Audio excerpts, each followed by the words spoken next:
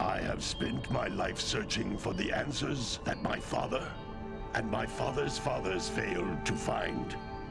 Who were the precursors?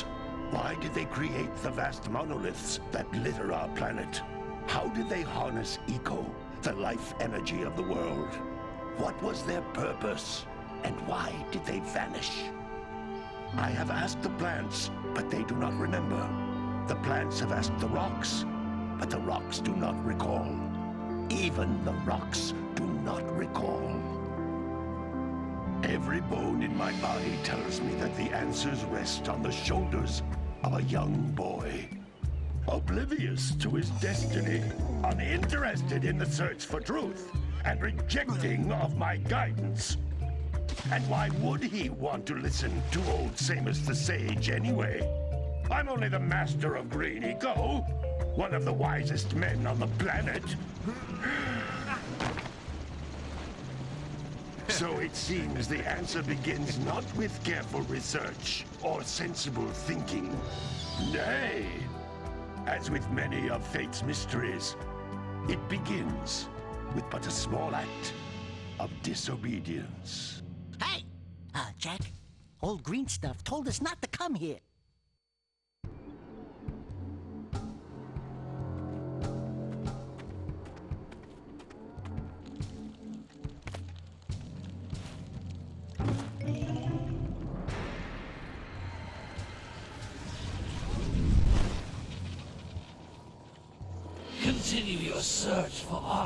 Artifacts and eco. If the locals possess precursor items, you know what to do. Deal harshly with anybody who strays from the village. We will attack it in due time.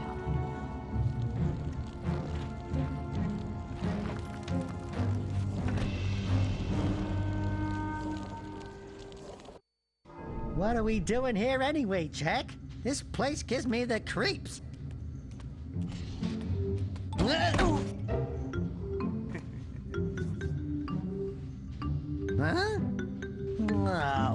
Stupid precursor junk.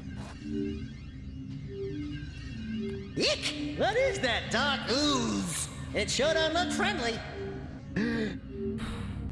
the sage yaps on about the precursors that built this place all the time. Where did they go? Why did they build this crud? Now, I like precursor orbs and power cells as much as the next guy. But if you ask me, they must have been real losers. Wow! How did you do that? I think we're in trouble!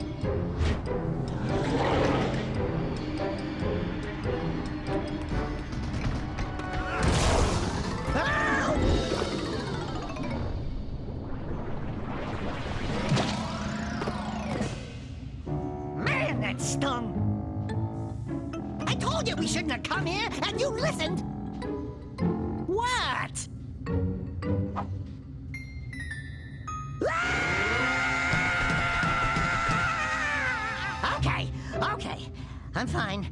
I'm fine.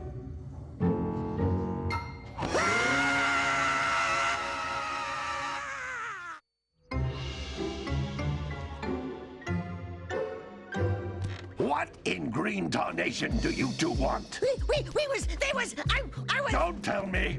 Instead of heeding my wisdom, the two of you went mucking around in the only place that I told you not to go Misty Island. That's right. And then. And, Daxter, you finally took a much needed bath, but in a bathtub filled with dark eco. Look, old man, are you gonna keep yapping, or are you gonna help me out of this mess? I'm gonna keep yapping, because in my professional opinion, the change is an improvement. And besides, I couldn't help you if I wanted to. What? There's only one person who has studied Dark Eco long enough to have a chance at returning you to your previous form. Gol Acheron, the Sage. But he lives far to the north. Far, far to the north. Nobody has spoken to him in ages. I would teleport you there, but I can't do that either. None of the three sages that maintain the other teleporter gates have seen fit to turn their ends on for quite a while. The only other way north is by foot through the Fire Canyon, but its volcanic soil is hot enough to melt precursor metal. You can't just walk through it. But you could fly over it if you had a zoomer equipped with a heat shield. I just happen to be working on such a thing at this very moment. All I would need is 20 power cells to give it enough energy to withstand the canyon's heat. Isn't that right, Daddy? Yes, Keira, that might work. But where are a boy and a half going to get 20 power cells? From the villagers. Most of them have a power cell or two stashed away somewhere. And even if they aren't willing to just give them away, greasing their palms with a few precursor orbs should do the trick. And I bet there are even more of them out in the wilds just waiting for some brave adventurer to find. Well, we've got the brave adventurer at least. Brave adventurer! You two couldn't find your way out of the village without training. Before you do anything else, you better go through the warp gate and get some practice on Geyser Rock. Uh, we won't find any more of that dark gooey eco stuff, will we? Cause I'd hate to fall in again and turn into you. Get in there before I turn you both into ferns.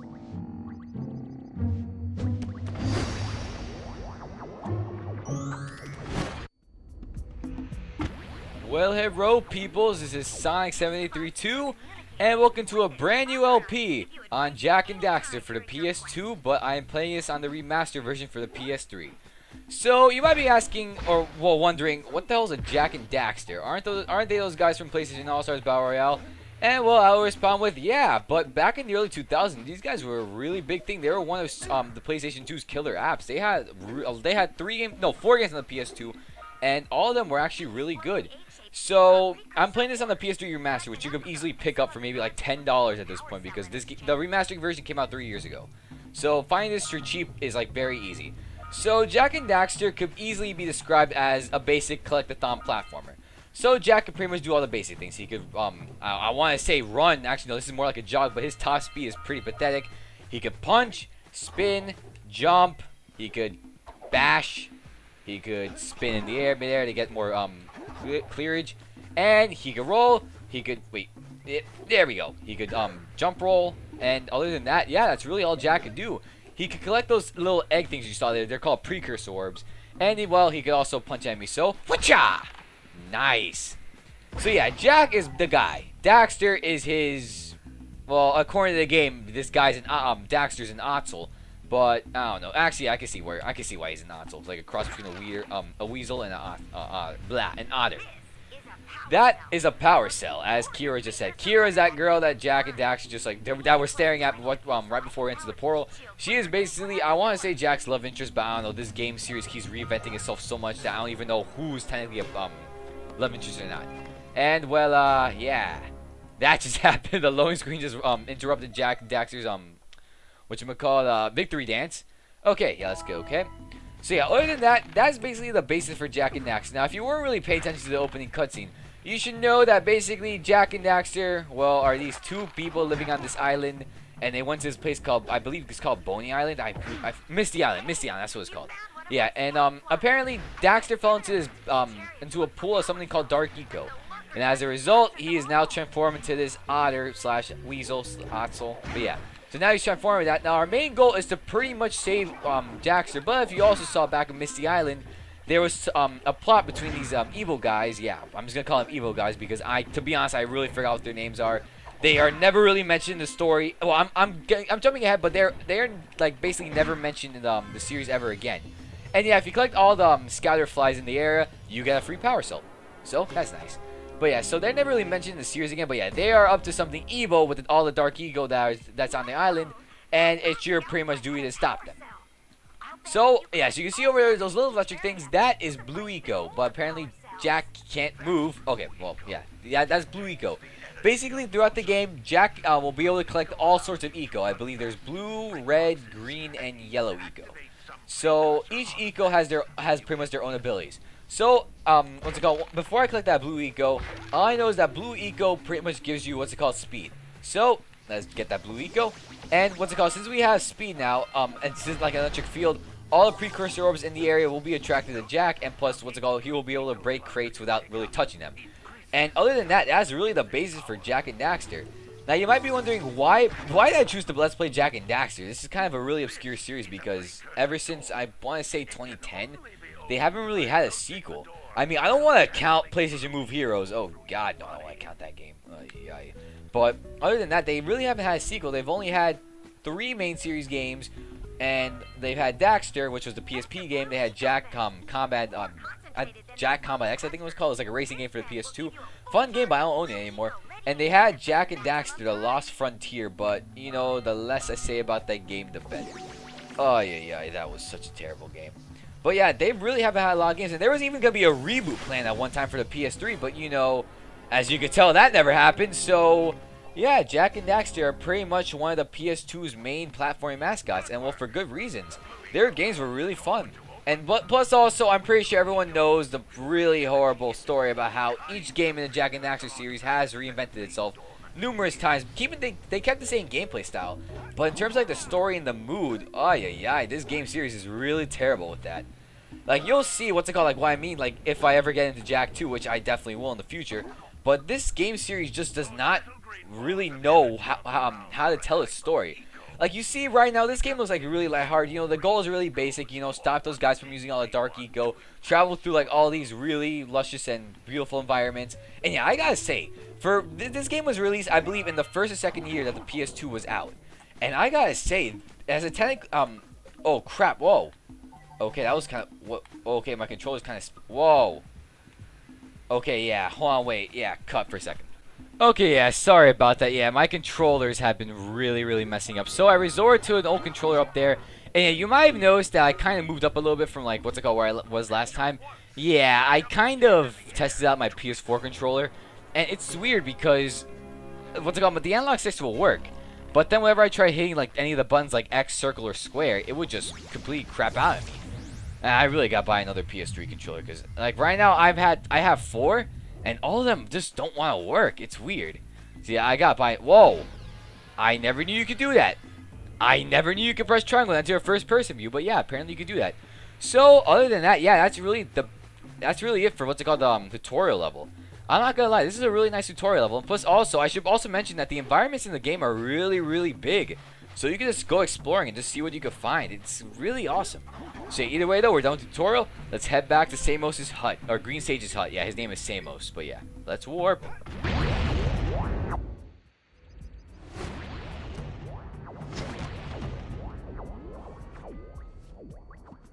Good training, boys.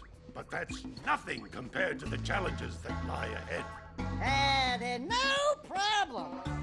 The moves, eh, Jak? We'd love to stay and chat, Big Green, but we're, uh, itching to get on with our adventures. Fine, fine.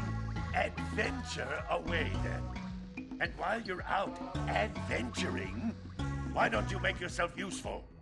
My darn green eco collectors are clogged up again. Head out to the far side of the beach and clear them out, why don't you? Follow the lamps. They'll take you right there. Now, all of you, get out of here! Okay, yeah, Samos, as you can tell, he's a big Russ. Let's talk to him again. Okay, wait, we can't talk to him. Can't even punch him. Wow, this guy is solid as a rock. And yeah, for all you guys who know Naughty Dog, Naughty Dog are basically the guys who have been working with Sony since the 90s. They've made games like Crash Bandicoot, the Jak and Daxter series, and the Uncharted series. So as you can tell, this plant over here is a reference to Crash Bandicoot because that this plant was in the games. So yeah, all you fans of Crash Bandicoot out there, just know that Naughty Dog still cared about back then about Crash Bandicoot, and you know, I know they're trying to rebuy the back now, but yeah, this is this is when Crash Bandicoot was still at best okay. Well, I mean, I might well, I don't even know what to say because around what's it called um. Uh, around this time, the only games that kind of came out were Crash 1, 2, 3, and um, Team Racing. So, other than that, Wrath of, um, Wrath of Cortex didn't come out. So, that's good, yeah. But yeah, let's go talk to Keira, actually. And let's go. Hey, baby. What do you say you and I go cruising on this A-Grav Zoomer? Rule number one I don't date animals.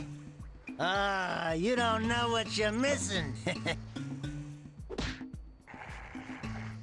Listen, if you need something to keep you busy, my father always talked about an ancient precursor pipeline hidden deep underground. Some of these pipes end in vents from which eco flows freely, and some have been capped off so that the eco is sealed back. There must be a way to turn the capped vents on. I traced part of the pipeline back to the Forbidden Temple. Maybe you should look there for some type of switch. Okay, thank you, Kier, for the very, very useful advice. So yeah, and that cuts. If that cutscene was any pretty, much any indication, Daxter, I want to say is the comic release character, but in a game like this, which is supposed to be kind of like childish and fantasy-like, I don't know, Daxter trying to be like the perverted type of guy, it just doesn't really work. Okay, so I'm gonna collect these precursor orbs, and then yeah. So as Samos and Keira said, some of the villagers in what's it called, um, in Sandover Village have power cells. So you have to, so sometimes you have to do a really simple task for them to get the power cell. Others, well, the task maybe isn't so simple. Some require you traveling numerous places, but some require just paying up power cells. Nah, I meant precursor orbs. So let's talk to this guy. No, don't tell me that you two have problems as well. The, the first I hear of monster sightings near the village, and now this. See those gears up there, boys? See them? See how they're not moving? That means our village has no power. The eco beam coming from the jungle temple has been interrupted. And boys, everyone's too frightened to go out and, and find out what's happened. Did you pay the bill? Yeah. hmm? Oh, oh, you're funny. Now look, if you two fix the eco beam, I'll give you a power cell. Oh, and, and another thing. uh, If by any chance you're interested in making a contribution to my re-election campaign, I, I might be willing to part with yet another power cell. The minimum contribution is a, oh, a very modest 90 precursor orbs. Damn it, this guy's a cheapskate. Okay, we don't have 90 precursor orbs, so we can't give him his contribution. We're 40 short. Wow, that's that's nice. Okay, but yeah, Mayor, see you later. So as you can tell, now we got what's it called? Um, a return the power on, which we we gotta go to what's it called? Um, the the forest temple like later on. But right now, let's just focus on what we could do in Sandover Village and the beach. Other than that, okay, so we went to that house and we went to this house. Let's go to this house now. This guy looks like a nerd. Actually, no, this guy looks more like a, one of those grandpas you see on the beach.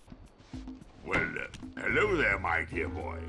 You've caught me at a most inopportune moment. Uh, I was to set off on my journeys yesterday, but I seem to be a spot short on the old precursor orbs. I would have pledged my word that I had 90 of them, but I gather that your young friend, you know, the little annoying, miserably ugly one, might have just pilfered them as a sort of a spot of fun. Anyway, uh, would you be kind enough to loan your dear old uncle 90 precursor orbs so he can get underway? I would offer you a power cell in return. 90 precursor orbs. What is with these people asking for 90? Really? Why not like 10 or 20 or like zero? But ah, crap. Okay, so yeah, apparently this guy is Jak's uncle. I think he's I think he's his uncle because he says, "Hand your dear old uncle, yeah, 90 precursor orbs." I'm not entirely sure about that yet, but yeah. So he's apparently his uncle. Let's go over here. Okay, what does this guy have to say? Oh my, what a horribly sick little bird. You don't look so good yourself, lady. Oh, sorry. I thought you were a spotted orange-bellied rainframe. You know, yesterday I saw some terribly vicious creatures capture a mother flut-flut near the beach. Now there's this poor little orphan egg sitting in a nest at the top of the cliff, and I can't get to it. If you could climb up there and push it off, I've piled some hay down at the base to catch it safely. Do an old lady a favor, and I'll give you a power cell. Alright, now we have another quest from this old lady, which I actually kind of called a guy. Ooh, that's kind of bad. Okay, so normally we should probably get started on those um side quests, but there's some other stuff we could do. Let's get this blue eco quickly, and now let's get all these precursor orbs. Nice, 65. Not what I wanted, but you know it's better than nothing. Okay, actually, let's talk. Uh, wait, before we talk to him, let's just get this other scouter fly because this could actually be useful to us. Three. Okay, I have no many. I have no idea how many are in this area, but yeah. Let's talk to this rancher. But wait, wait, wait. First, wait. is there an option for subtitles? Um, let's go to game options. Okay, no. Sound options. No. Oh, there's no option for. Oh, yeah, okay. There's no options for subtitles. That's kind of stupid. Oh, wait, whatever. Wait, ah, come on. Okay, let's talk to him now. Mm, gotta milk those yak cows. Gotta milk those yak cows. Oh, it's you. Oh, just resting my tired bones. I've been trying to get those ornery yak cows back into the pen all day. Some strange creatures tried to steal them earlier. You think you could help an old man trying to get them back into the corral? Alright, now we gotta help this man get his yak cows. Yeah, what a really creative name over there. Back into the uh, corral. So, pretty much the very simple thing to do. All I really gotta do is just guide the uh, yak cows back to corral by pretty much punching them in the butt, and you're pretty much good. So I believe there's a total of like five or six yak cows, but other than that, yak cows are, like I said, they aren't really that hard to get into the pen. Come on, wrong way. Come on, come on, yak cow, get in there, get in there. Come on, come on. Come on. Okay, that's two. Now, okay, there's third one, but there's some pre... Okay, we'll get those later. We'll get those things later. Oh, there's four, it looks like. Okay. Yeah, four yak cows. That isn't really that bad. Come on, yak cow. Come on. Wrong way. Wrong way. Yeah. Other way. Did we just deck that yak cow in the face? Holy crap. Come on, go. Go. Go. Mush. Move! Oh, but yeah, um, I was trying to say before that, Jak is pretty much a silent protagonist in this game. And I don't know whether or not a lot of people dig the silent protagonist motif, but I don't know. In this game, Daxter kind of runs his mouth a lot, and that kind of gets really annoying at times. Especially when Daxter's supposed to be this perverted um, relief character, and this game is kind of for kids. Later on, though, in the series, they give Jak a voice, and while I don't think it's kind of the best voice they could give for Jak, you know, it's at least tolerable. So right now, the only the only thing Jak will pretty much just do say do or say is just grunt. That is basically like yeah or yeah, like stuff like that. But yeah, Daxter is pretty much the one that talks. Everyone everyone in this game talks except for Jak. Which you know, I don't know what was like the 90s or early 2000s obsession with silent protagonists, but you know, voice acting now is like everything, and you know the only game the only games that still have silent protagonists are Nintendo games. Which you know, I'm not saying is bad. But, you know, I'm just saying that, you know, in a game where everyone else talks except for you, you know, you need voice acting. Okay, wait, the yak cows are back to corral. Let's talk to the farmer. Okay, farmer, what do you guys say? Ah, well done, my boy. You actually got those flea bags back into the pen. Now I can sleep in peace. Take this power cell for your trouble. And, yeah, fifth power cell.